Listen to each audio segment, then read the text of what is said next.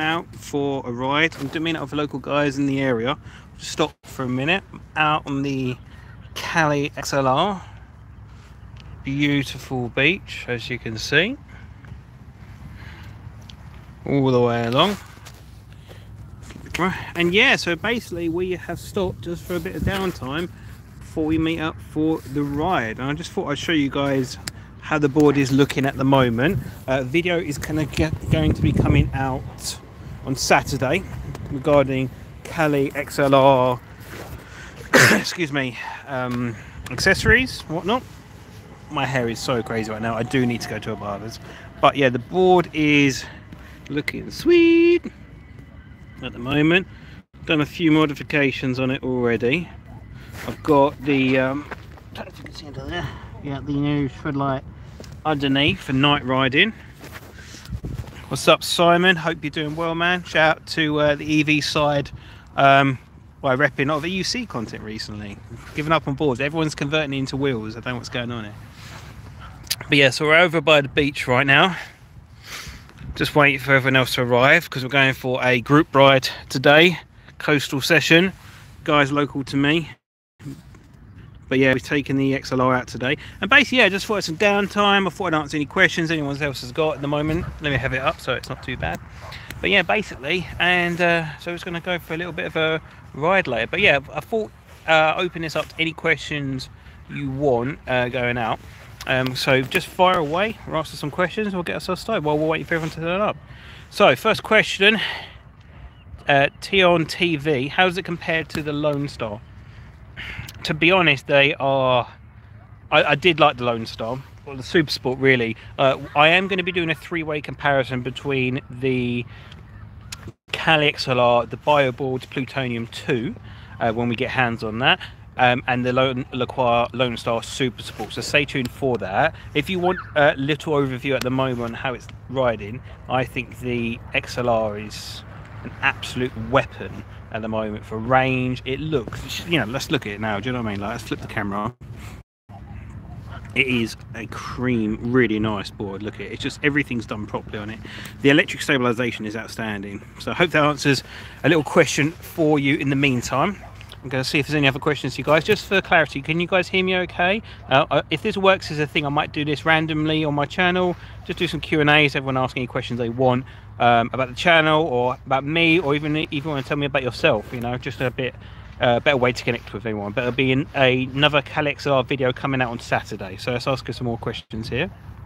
Okay.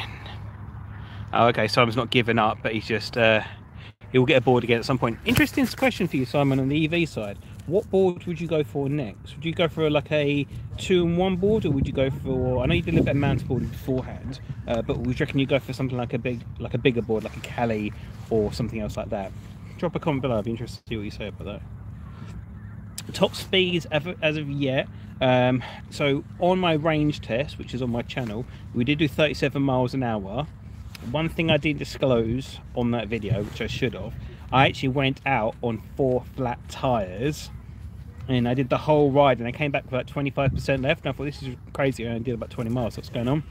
And then I realised I hadn't pumped the tyres. So I did 37 miles an hour on flat tyres. So that's one thing I wouldn't mention when I do my full review is these tyres are so good that if you have a flat, they can hold their shape really well. Um, but silly old me uh, didn't realise that I needed to pump the tyres up to full whack. I just assumed they were already pumped. So that was a mistake on my part. Is there any other questions here? How's the comfort on foot fatigue with the hump in the middle? Now, I'm telling you now, the hump in the middle, it is. It seems a bit severe initially, not too extreme, but you do notice it. Now, um, I think the hump in the middle, I don't know what it is, it shapes my foot literally perfectly. For a board on this scale, for long rides, it is the most comfortable deck I've ever stood on in relation to long range riding. Um, obviously you don't have that pump like you would on like um, other boards with less batteries but the hump in it is really really good. So arches around your foot really nicely. So that's one thing to notice as well. So Simon says here uh, thinking either mounted board as mostly off-road but I've seen a few bigger cruisers that have me interested Um, so with the mountain boards, for me, honestly, it is only Apex Predator. It's by far the best board I've ever had in regards to mountain boarding. Um, I absolutely love that board. It's probably my favourite. A couple of guys saying they're on their way to the ride now, so I'm going to see how much longer I'm on for this stream for. So please drop, drop any questions below and I'll answer them while I'm here. Um, I do need a haircut. My beard is getting crazy. My hair is getting way too long, but we'll get on that soon. Any further questions? Let's have a look here. Okay, the W concave. Is it W? Um, yes, it's a bit of a W concave actually. But what's nice, I'll, I'll flip the camera so you can see better. Let me flip the camera. And as you can see here, I'll get low. You see it's like a little bit of a concave here, just a slight one. You can see a little bit better in the light there, but it's not too severe. But it really concaves the foot nicely. But as you see, which will be on Saturday's video this week, I've added the dope grip as an extra. And if you haven't used dope grip before, it is by far the best grip out there for sure. It was a really comfortable ride um, anyway, but with the dope grip, it's completely worlds apart with the um, with the with the uh, cushion really, especially if you're doing long long range. What I'll do is put you down one second, and I'll show you the stabilization because I'm sure everyone wants to look at that. Right, so as you can see here, so the uh, electric stabilization is this module here, and so that comes into here, and what it does is it compresses. Try to focus these little wings here. You see them? So they do compress ever so slightly, and as a result, it does stable. It does become a lot more stable at uh, higher speeds. Um, but um, yeah, it's really, really impressive, and this is what the innovation we've been looking for in regards to e-skating recently. One thing to make note of, uh, the bushings are really, really nice, really adjustable. So if you could just adjust this little screw here, then, let's flip you back. Oh yeah, I've also got the SL FX, which is on this week's this video. So I'll try and turn this on. Yeah, so that's that. That turns on nicely. Yeah, um, I have ordered another one because two isn't enough, unfortunately. Let's flip this back answer some more questions from you guys. Um, but yeah, that's an example of the stabilization, but is the future by far. So I'm gonna see if there's any more comments here. look at comments here. There we go. Okay, what's good, Ryder? Oh yeah, what's up, Lewis? Thanks you for joining in from NYC. How manoeuvrable is it compared to the SL50? Does it carve well? Now the XLR, what's nice about the stabilization is at low speeds, let me get you higher here, take my auto bag off. Um, you can have the move, maneuverability that you want and then as, as you speed up it does get tighter. So you do have that maneuverability all over the place. So you at low speeds it's really good. I had it initially stock when it came out. Um, I don't tighten up too much but with previous history with speed wobbles and accidents I want to make sure it's tighter. So I've tuned this up a little bit tighter than normal. Um, so it is a little bit tighter than it would be normally. However it still carves really well. But if anyone out there rides bigger boards you'll understand why a different carve. Most people come from like an evolve or a two-in-one kit uh, board like a meepo hurricane or an Exway Atlas or anything like that with um, double kingpin. You do need to do full body movements on boards this scale um, so we'll go from there. So look at any other questions? I want to answer all these questions before i leave you guys today before everyone turns up. I have some decks like that but the middle looks yeah the middle on this board looks outstanding. I've looked at that now. Um, no block there exactly i'll show you here that that center of that board is just absolutely cream. And i'm really glad that ns took my advice with putting the signature on. It looks so much nicer. It really does do you ever does ever completely eliminate speed wobble? Uh, to be honest, I think um, no board will ever eliminate speed wobbles. Um, I've never experienced anything on this thing. Um, it's been really, really stable at high speeds. And the reason why I would say never eliminate any possibility of speed wobbles is because I went into my Lacroix Nazare um, uh, thinking that it was speed wobble proof from what is advertised initially and as a result of that I had an accident because I was way too confident with the stability of trucks. Always be cautious, um, but I've had no speed wobbles as of yet. It's really nice and good under the foot. Yeah, it is a tank. It is a massive, massive. It's the heaviest board I've ever had in my life, with that massive 18S8P metal gear drive, largest motors, uh, 63100 motors, metal hub. Everything's massive on this board. It is an absolute weapon to ride. It is hard to ride in the concept of it is a workout, um, but in a good way. So you feel really planted. Okay, are there no, I'm not going to do any drilling of any shot blocks at this point now. Um, I, uh, what uh, Vaping Eastgate said is some of the XLR riders are putting holes in the uh, bushings to make it a little bit softer. Um, but to be honest, I'm quite happy as it is now. I haven't dialed it in how I want it perfectly yet. I want to do this a very gradual process, not push myself, but it's come it's going really well so far. Let me look at any other questions. and I'm to leave it a little bit longer, guys. I'm going to come off in a second. So get your last uh, few questions in there, and I'll try and answer them before we're done.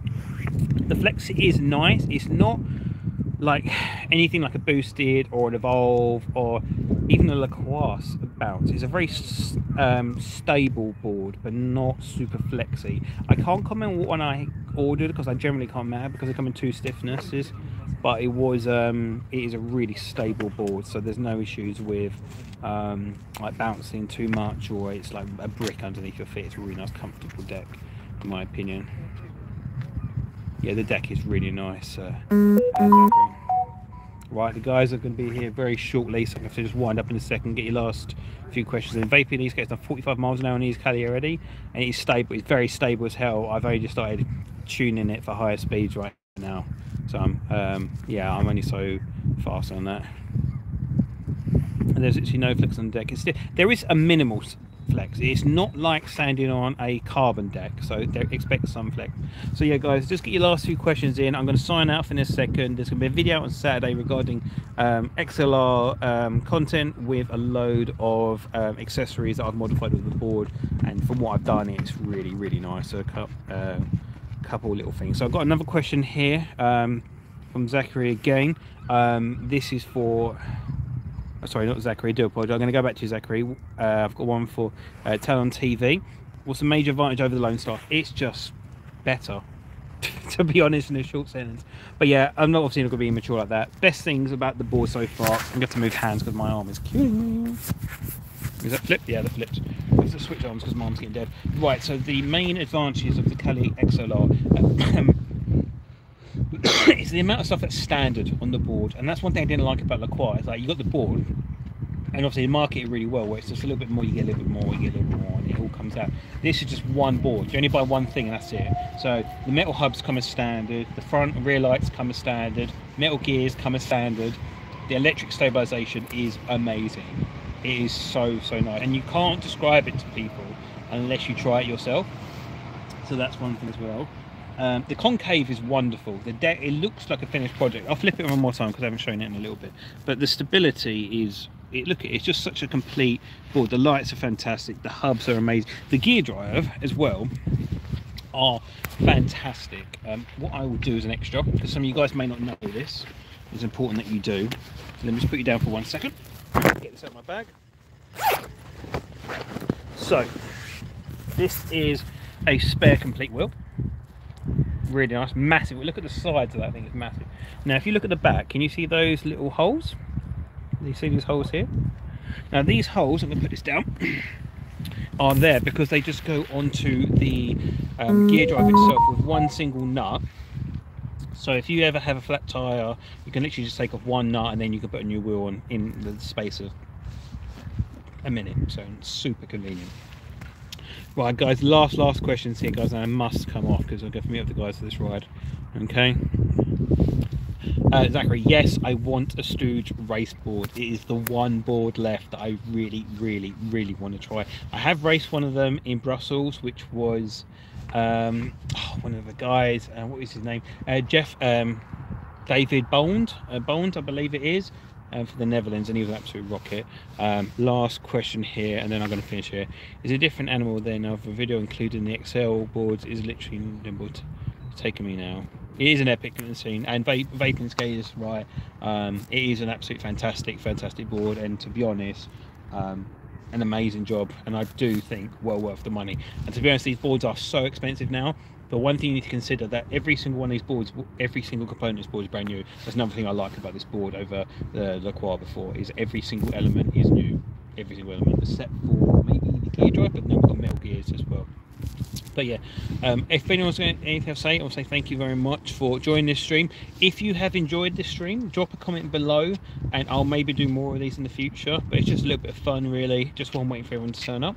Um, drop a like below if you want me to do more of these. And depending on the feedback guys i'll do more of these um, in the future. Um, just ask some questions guys connect with you.